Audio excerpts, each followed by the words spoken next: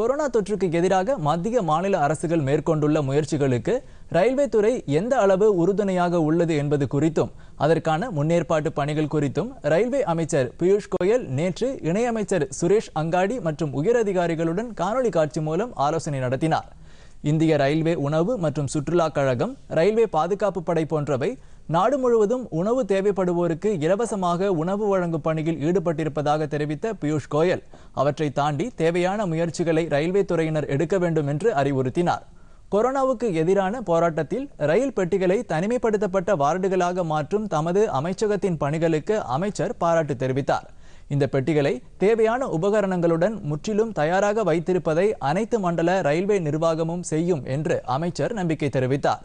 முதற்கட்டமாக ஐந்தாயிரம் பெட்டிகளை தனி வார்டுகளாக மாற்றும் பணிகள் தொடங்கி நடைபெற்று வருவதையும் அவர் சுட்டிக்காட்டினார்.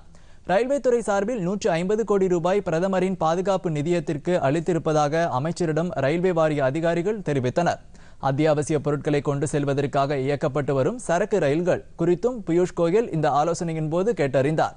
மருந்துகள் இன்றியமையாத உபகரணங்கள் உணவுப் பொருட்கள் போன்றவை நாடு முழுவதும் விரைந்து விநியோகிக்கப்படுவதை ரயில்வே துறை உறுதி செய்ய வேண்டும். தேவைப்பட்டால் கூடுதல் சரக்கு ரயில்களை இயக்க வேண்டும் என்றும் அமைச்சர் பியூஷ் கோயல் அறிவுறுத்தினார்.